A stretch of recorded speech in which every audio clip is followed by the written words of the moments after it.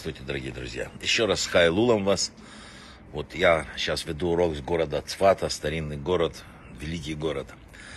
Э, вернемся к недельной главе. Священник, который будет в те дни, сказано в этой недельной главе. Тора подчеркивает, что первинки плодов следует отдавать коину, храмовому священнику. Но что такое в те дни?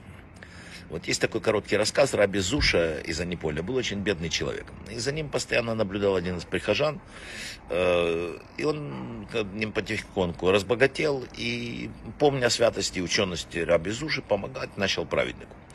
Делал пожертвования, там, наружу раввина и так далее. В очередной раз он взял с собой деньги, пришел в синагогу, Зуша не оказалось. Ему сказали, что он поехал к великому Магиду из Межирича. Ему говорят, а кто это? Он говорит, так это его учитель так подумал богач, вместо того, чтобы помогать Раби Зуши, я буду помогать Магиду. И он начал отправлять Межирич пожертвования. Однако через несколько дней начались неприятности по бизнесу, еще, еще, еще, и совсем плохо э, стало.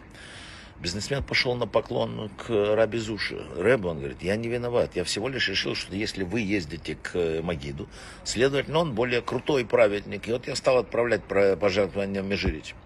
И Раби Зюша ему пока сказал, именно когда вы давали пожертвования мне, не самому, может быть, великому праведнику, да, то Всевышний помогал вам, может быть, не самому праведному еврею. Когда вы решили давать сдаку истинному праведнику и стали взвешивать, кто из них самый настоящий, Творец тоже послал сначала, так сказать, инспекцию проверить, э, как теперь относиться к вам. Именно об этом пишет Тора. Первинки, то есть первые плоды надо приносить не самому какому-то, как кто придумает, праведному коину. Нельзя браковать других, которые возле тебя, иначе Всевышний забракует и самого дарителя. Сейчас, в преддверии Рошашана и Йом-Кипура, мы хотим удостоиться милосердия неба. Мы просим Всевышнего не относить к нам слишком строго, не наказывая за наши проступки. В Талмуде, в трактате Сата сказано, к тому, кто относится к другим милостиво, на небесах относится тоже милостиво. Поэтому, если мы забудем обиды, нанесенные нам людьми, Бог сделает э, вид, что не заметил обид, нанесенных Ему. Прощайте других, и тогда Бог простит вас. Вот. Все очень просто. Пришел один ученик Рэбе и говорит, Рэбе, как мне научиться прощать? А Рэбе ему говорит, а что толку в лечении симптомов? Лучше всего учись не обижаться.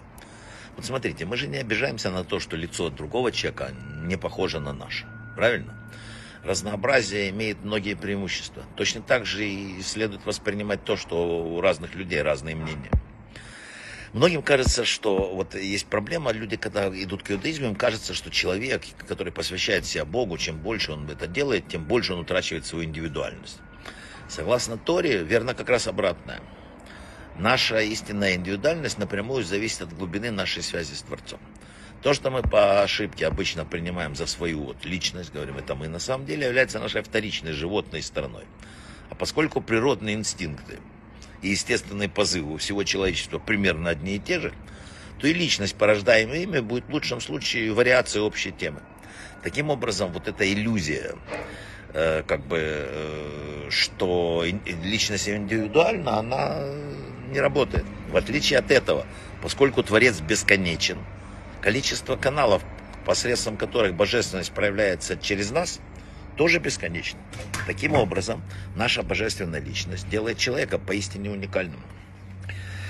Следовательно, думаемся, чем больше животная составляющая нашей личности растворяется по мере приближения к Богу, тем в большей степени проявляется наша божественная индивидуальность. Вот и все. Тело – это одежда души. Наша цель прихода в этот мир – найти за материальной оболочкой свою душу и отыскать ее. А мы ищем крайнего – Собственные заблуждения, написали мудрецы, и поступки закрывают от глаз человека руку Господа, постоянно направляющую его. Ему кажется, что он брошен на волю случая. И поэтому душа человека часто съедена тревогой и скорбью. На самом деле Бог все видит. У мира есть хозяин, он следит за нами в этом временном мире. Э, как бы тут надо еще понимать, что мысль о том, что этот мир является только неким коридором, ведущим мир грядущий, не означает, что этот мир не так уж важен. Напротив, сказано, и, что он чрезвычайно важен, потому что все совершаемое здесь обладает исключительной способностью создавать вечные духовные структуры и влияет на все миры. Поэтому важно быть и правильным в этом мире, и готовить себя к правильному жизни в следующем. Вообще важно в эти дни как бы посмотреть на себя со стороны, таким пусть строгим, но справедливым взглядом. Посмотреть, где надо поднажать, где надо почистить, где надо прощать. Брахава от слаха из этого священного города Свата. В этот потрясающий день Хайлул я даю всем большую-большую браху. Браха в от слаха.